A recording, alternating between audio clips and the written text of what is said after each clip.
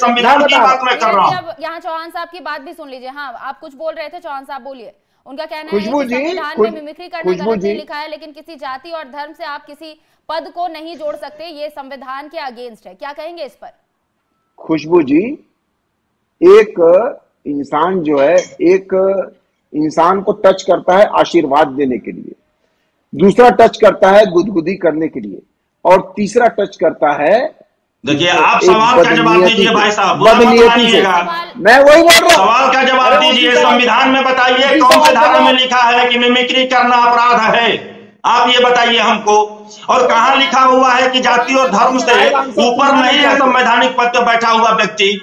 या अगर ये चीज़ें आपने कल्याण बनर्जी का गिनाया है। इन्होंने कल्याण बनर्जी का गिनाया है कल्याण बनर्जी एक सांसद है। यहाँ पर यहाँ पर चौहान साहब आप आंसर सुनना नहीं। चाहते। हाँ। एक इंसान आशीर्वाद देने के लिए छूता है एक गुदगुदी करने के लिए छूता है एक बदनीयती से छूता छूता है। लेकिन आ, आप कानून जो है कानून किसको कानून किसको अपराधी मानता है? जो बदनीयती से छूटता है। इस कृत्य की होता है लेकिन तो इंटेंशन मोदी जी देखा जैसे जाता बोला है। करते थे संवैधानिक पद पर बैठकर मौन मोहन वो बदनीयती नहीं था।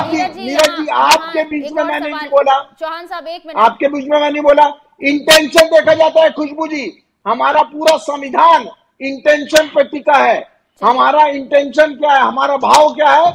हम किस भाव से बोल रहे आज आज पूरा देश पूरा देश पूरा देश थूथू नहीं पूरा विश्व भी थूथू कर रहा है। लीजिए लीजिए भैया जब तो मोदी जी मुख्यमंत्री रहते हुए निकाला मौन मोहन बोल सकते हैं। प्रधानमंत्री रहते हुए एक महिला को पचास करोड़ का। मत- जर्सी गाय बोल सकते हैं ये मतलब बदनीयती नहीं है। इससे बड़ा। बदनीयती और दुर्भाग्य क्या होगा हमारे भारत के लिए? निकाल रहे हैं उपराष्ट्रपति की मिमिक्री उतार रहे हैं तो ये क्या गलत नहीं है? आप क्यों अरे मोदी जी मौन मोहन बोलते हैं प्रधानमंत्री को मुख्यमंत्री रहते ये गलत नहीं है। क्या बात करते हैं? अपने लिए मतलब केवल बंद कमरे में चल चित्र चेहरे की बात करते हैं आप लोग। नेत्र नियत आप अपने लिए कमरे में बात करते हैं?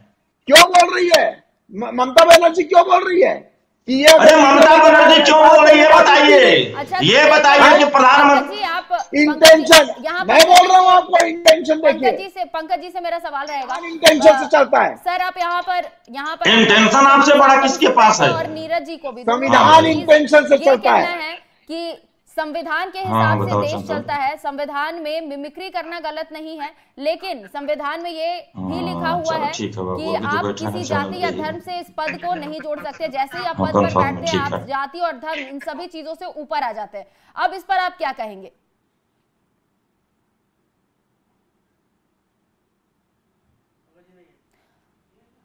तकनीकी खामियों की वजह से पंकज जी से संपर्क टूट गया है। नीरज वापस आपके पास आना चाहूँगी।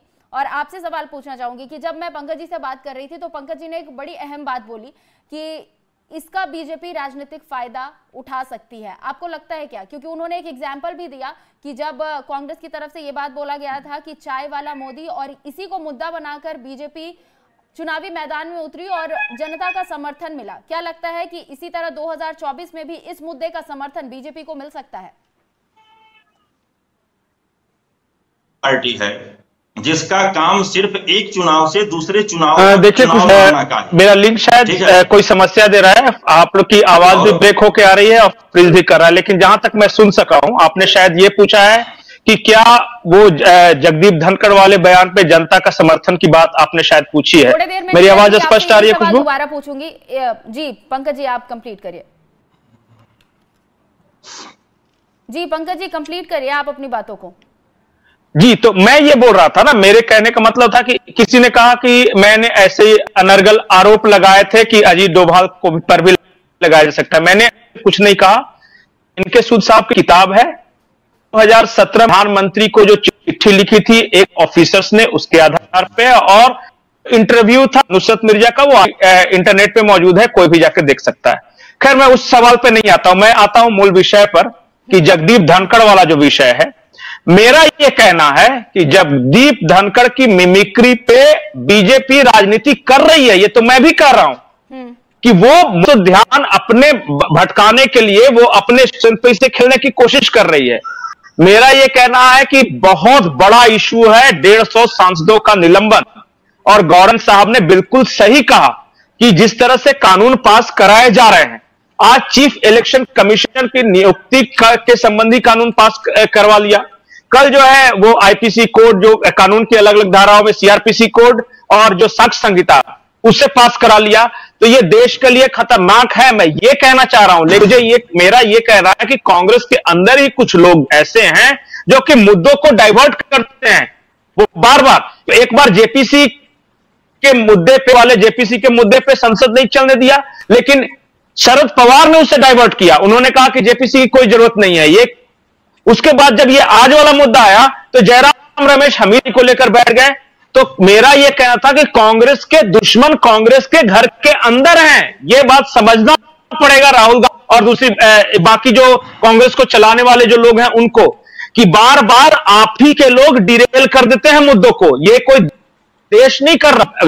जो विपक्ष में है, वो तो जो आपके सामने वो तो ट्राई करेगी कि जो भी आपकी कमजोरियाँ उनका फ़ायदा उठाया जाए। ये तो करेगी और वो बार बार कर रही है।